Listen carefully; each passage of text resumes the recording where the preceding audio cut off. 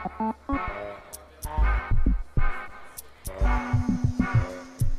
the Danish Cultural Institute's EU office here in Brussels, we work on giving advice to Danish cultural operators, people working in the creative sector in Denmark on how to build a European project.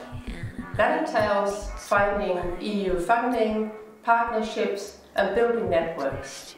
We also offer study tours for people wanting to come to Brussels to learn more about all the possibilities that there are in working internationally. We cooperate closely with the EU institutions, the hundreds of European culture networks, but also with the regional offices in Denmark that have representation here in Brussels. At er oplagt for os at henvise øh, kulturaktører i Nordjylland til Kulturinstituttet, som efterfølgende holder os opdateret på, hvilke øh, aktioner, der er taget i forhold til eventuelle samarbejder, eventuelt programudvikling. And how do we get our knowledge? Well, we attend meetings, seminars, conferences, we do research, and we're also um, part of many important European networks. Uh, one of the most important networks is the European Network of Cultural Institutes called EUNIC. Um, but we also work directly with uh, some of the very big uh, cultural institutes like the Goethe Institute, the European Culture Foundation and the British Council. That Brussels is the center of power in, in Europe and for the first time in my life went to Brussels to, to talk with the people from the Danish Cultural Institute yeah, there. We were in the street and suddenly there was a demonstration of, of uh, refugees, both refugees from Africa.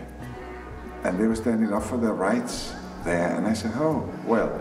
And out of, out of all the things happened, suddenly we got the idea to bring uh, refugees and uh, decision maker on the sta stage at the same time. The majority of cultural institutes in EUNIC and working in Brussels are associated with nation branding, that is, they do cultural diplomacy. They are still engaged in promoting their language and their history and their traditions and culture, and that's okay. However, we want to move beyond nation branding. If we want to genuinely promote trust and understanding with peoples around the world, nation branding is not going to do that for us we have to move into an area called cultural relations, which is about people-to-people relations, working in and with civil societies. Now the Danish Cultural Institute is moving in that direction, is occupying that space, and it's probably the only small cultural institute doing that. I hope that over the next few years, that alliance of a radically different type of cultural institute, which is the Danish Cultural Institute, with the big guys, can make a real difference to the debate and the practice around culture and EU external relations.